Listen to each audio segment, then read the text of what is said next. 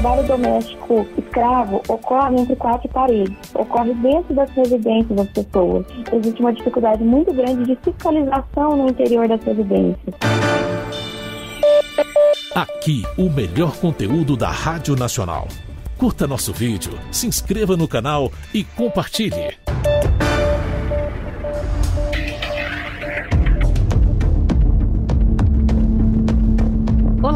Eu sou Juliana Maia e nesse episódio de podcast nós vamos falar sobre trabalho escravo doméstico.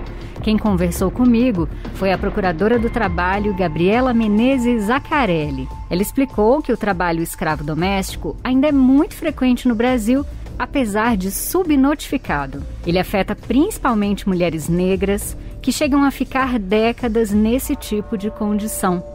Ela contou ainda que é muito comum que as vítimas sejam alvo de violência física, sexual, tortura psicológica e até de coação.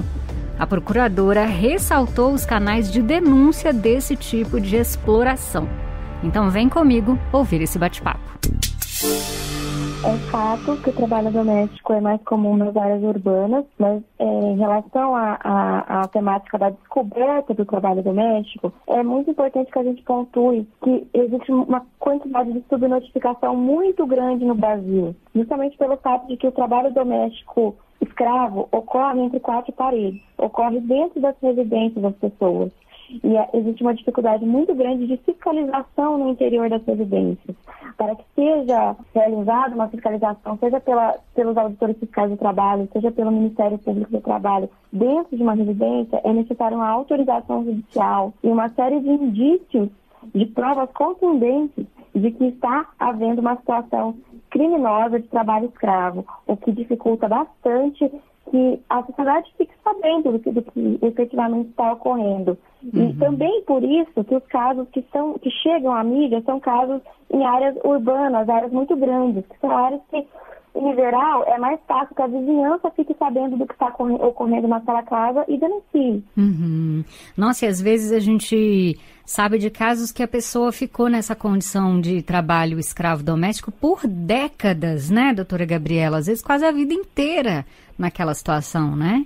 É, o trabalho doméstico, ele em geral faz de suas vítimas mulheres, pessoas é, negras ou pardas, e, e, ele se inicia desde a infância. Uhum. Por isso uhum. que ele tem uma interlocução muito grande com o trabalho infantil, porque essas mulheres, em geral, são meninas que são é, pegadas para criar. Essa é uma expressão bastante comum de ser ouvida entre as vítimas. São meninas que vêm de famílias de extrema miséria, de famílias que são iludidas com a proposta de uma família mais rica, de que a criança vai ter acesso à educação, à moradia, a acesso à saúde, a serviços do SUS, por exemplo. E elas são pegas para criar para as famílias mais, mais, mais abastadas. E, na verdade, o que, o que ocorre depois disso é muito diferente do que foi prometido às famílias. As crianças passam a ter atribuições já de pessoas adultas, muitas vezes de babás, de empregadas domésticas, são privadas do acesso à escola, do convívio social e passam a atuar como verdadeiras servas daquelas famílias, muitas vezes por décadas, sendo inclusive passadas de pai para filho posteriormente. É comum que sejam é, denunciadas histórias de pessoas atualmente idosas, mas que foram para aquelas casas como crianças e depois criaram os filhos daquela família e quando aqueles filhos cresceram, e constituíram família e tiveram seus filhos, elas foram é, para as novas casas para cuidar daqueles netos. Nossa. E até mesmo depois elas voltam para as casas daquela pessoa que a escravizou para cuidar delas como idosas. Nossa, doutora.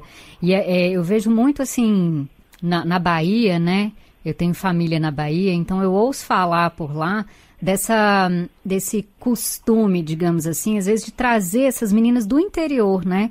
Então a menina vem do interior, às vezes não, nem consegue manter contato com a família, né? Às vezes a família não consegue nem acompanhar o que está acontecendo com aquela menina, né, doutora? Exatamente, elas são privadas de todo o convívio com a sua família biológica, elas são inseridas no seio daquela nova família é, com uma noção falsa de pertencimento.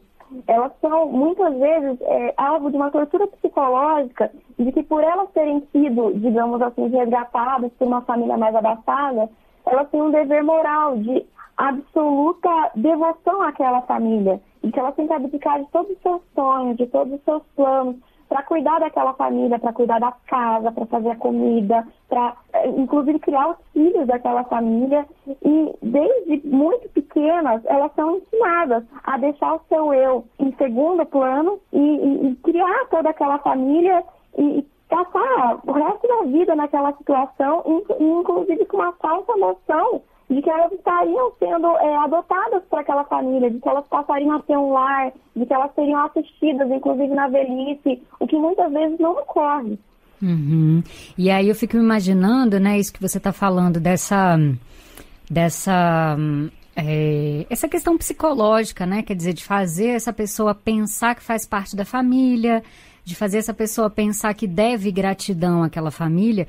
E aí essa pessoa às vezes passa todo esse tempo servindo essas pessoas sem receber salário, sem receber seus direitos, sem direito a férias, sem direito a descanso, né, doutora Gabriela? Porque nem, nem consegue às vezes entender que aquilo ali é um trabalho, né? Exatamente. E também por isso é muito difícil que esses casos sejam descobertos. Porque as próprias vítimas, elas passaram cerca, elas passaram décadas da sua vida nessa prisão psicológica, nessa tortura de que elas são parte da família, mesmo sendo uma parte da família que mora num quartinho pequenininho, é, um quartinho ali na varanda, um quartinho de empregada, mesmo sendo a pessoa que tem que comer na cozinha, que não faz parte das refeições, mesmo sendo a pessoa que não é convidada para as viagens da família, para os eventos de família, mesmo assim, elas entendem que aquela é a família que elas têm e como elas são afastadas muito cedo da sua família biológica, essas pessoas são o único referencial de autoridade e de segurança que, que, que essas meninas têm. E por esse motivo,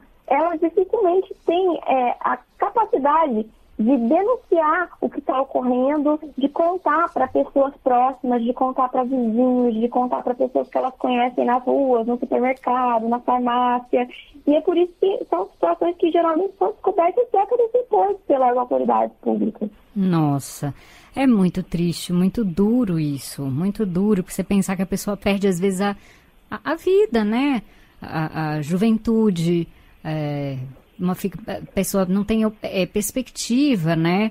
É, não tem oportunidades, não tem oportunidade de estudar, enfim, nossa, que tristeza. Agora, você falou da subnotificação, então, nem sei se é possível a gente falar em qual região do Brasil isso acontece mais. É possível, doutora? Juliana, eu acredito que não será possível, porque não, a gente, como eu expliquei, não tem dados confiáveis acerca de onde isso está ocorrendo. Uhum. Em geral, os casos mais recentes são de regiões é, de grandes metrópoles, mas isso ocorre justamente pelo fato de que nesses locais, por haver uma grande, uma grande concentração de pessoas, é mais fácil que vizinhos descubram e que essas pessoas externas à família tomem conhecimento da situação e entre em contato com a autoridade. O que é muito difícil de ocorrer, por exemplo, numa zona rural, em que existe uma distância muito grande entre as casas, entre as propriedades, o que torna praticamente impossível que as pessoas que, que por ali transitem saibam o que está ocorrendo ali no seio familiar. Uhum. Então é mais fácil os vizinhos denunciarem do que a própria pessoa denunciar, é isso? É, em geral, as pessoas vítimas de trabalho escravo não são as pessoas que denunciam as autoridades. Inclusive porque como elas têm essa noção de que essa família, mesmo não sendo uma boa família, a única família que elas têm, é muito difícil que elas superem esse temor reverencial que foi criado ao longo de décadas e realize uma denúncia contra essa própria família. Uhum. E existe um medo muito grande também do que vai ocorrer com essa pessoa se for descoberto que ela denunciou. Ela teme muitas vezes até pela própria vida. Claro. E a gente já viu casos, né, que foram denunciados e tudo mais. Às vezes a pessoa era proibida até de conversar com os vizinhos, muitas vezes até de botar o pé na rua, né, doutora Gabriela? Chega às vezes a esse extremo, né? Sim, sim. Muitas vezes, inclusive a imensa maioria das vezes, essas crianças que são, entre aspas, pegas para criar para essas famílias, são crianças que não vão ter acesso à escola, são crianças que não vão ter acesso ao convívio social é, comum para que se crie uma pessoa adulta com autonomia de vontade.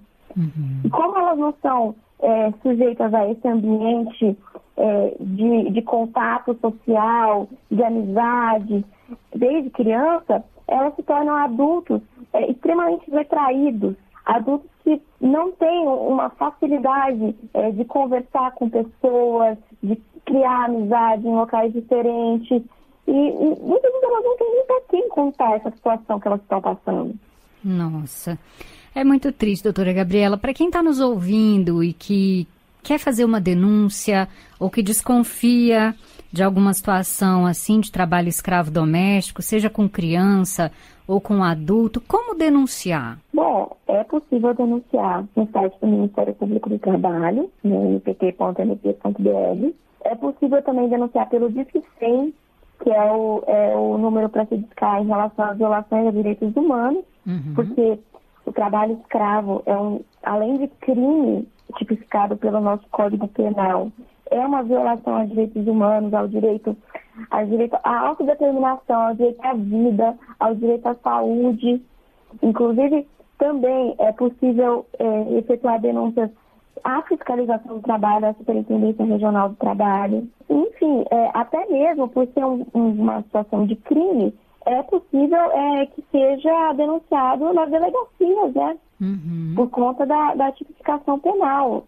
Esse é um crime e as pessoas que estiverem numa situação de flagrante daquele crime podem chamar a polícia. Perfeito, doutora. Inclusive, a gente não mencionou aqui, mas eu fico imaginando que essas pessoas ficam muito vulneráveis também a todo tipo de violência, inclusive a violência sexual, né? É, em relação a isso, eu inclusive eu cito o caso da Maria Alma de Jesus Sampaio, que ocorreu em 2005 é, aqui na região da Amazônia, no Pará, uma menina que foi pega para criar também, a mãe era uma agricultora e deixou essa criança ir morar numa família é, que era mais abastada, que estava em Belém, com a promessa de que a criança, numa cidade grande, poderia ter acesso à escola, poderia melhorar de vida, e em troca a criança seria babá dos filhos dessa família. E na verdade o que ocorreu foi que Marielma foi espancada por diversas vezes, foi violentada, sofreu diversos abusos sexuais pelo casal e veio a óbito. E o casal foi processado, foi preso e hoje o dia no qual essa, no qual essa criança morreu tornou o dia de combate ao trabalho infantil no Brasil. Uhum. Justamente um caso emblemático que ocorreu aqui na região da Amazônia e que se tornou uma, uma bandeira para todo o país em combate ao trabalho infantil. Meu Deus. Ai, doutora, duro, né? Então a gente precisa cuidar dessas crianças, a gente precisa olhar para a vizinhança, né, doutora? Cuidar não só das nossas, cuidar das minhas, das suas, da, das crianças, né? Denunciando. Diz que 100, viu, pessoal? Diz que 100. Ou ir direto à delegacia mesmo, se você sabe de alguma situação, né? Suspeita. Se você suspeita, denuncia e as autoridades vão investigar, não é mesmo, doutora? Exatamente. E também denuncia o Ministério Público do Trabalho. Uhum. Nosso site é bastante simplificado, todo mundo pode ter acesso. As denúncias são bastante simples, não é necessário uma grande, uma grande contextualização. Basta explicar onde isso está ocorrendo, uhum. é, dar nomes de pessoas que conheça, o local, a rua, o endereço, que as autoridades vão se, vão se, se organizar. A gente tem uma grande interlocução com o Ministério Público Federal, com a Polícia Federal, com a Polícia Civil, Polícia Militar. E a partir do momento em que um cidadão, em qualquer pessoa da população denuncia, a partir desse momento as autoridades vão se organizar por si mesmas para correr atrás dessa situação e para acabar com, com, com, com toda, toda com, com, todo o absurdo, com todas as violações de direitos humanos que estão ocorrendo no seio de muitas famílias brasileiras. Perfeito, doutora. Só repetindo aqui, pessoal, o site do Ministério Público do Trabalho é o mpt.mp www.cultura.br. Doutora Gabriela Menezes, muito obrigada pela sua participação, muitíssimo valiosa e importante. A gente espera que. Né, a gente, é, é, é, o tipo de entrevista que a gente não gostaria de precisar fazer, né, doutora Gabriela? Mas infelizmente é uma realidade do Brasil e eu fico feliz também de poder alertar aqui a população para que a gente é, se junte nessa luta, né, de, de, proteger as pessoas mais vulneráveis, sejam as crianças, as mulheres, as pessoas que estejam aí submetidas a qualquer tipo de trabalho escravo, qualquer tipo de violação aos direitos humanos. Obrigada, viu, doutora? Eu que agradeço a oportunidade, Juliana. Um abraço Obrigada. muito grande para você. Até a próxima. Um abraço. Tchau, tchau. Aqui, o melhor conteúdo da Rádio Nacional. Se você gostou, curta nosso vídeo, se inscreva no canal e compartilhe.